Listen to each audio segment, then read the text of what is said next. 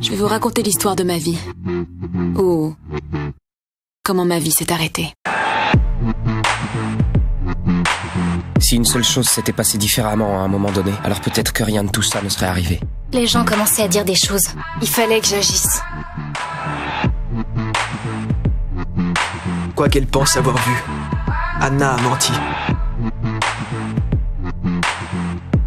Je ne saurai peut-être jamais pourquoi vous avez fait ce que vous avez fait. Je peux vous faire comprendre ce que j'ai ressenti. Si vous voulez connaître la vérité, appuyez sur lecture.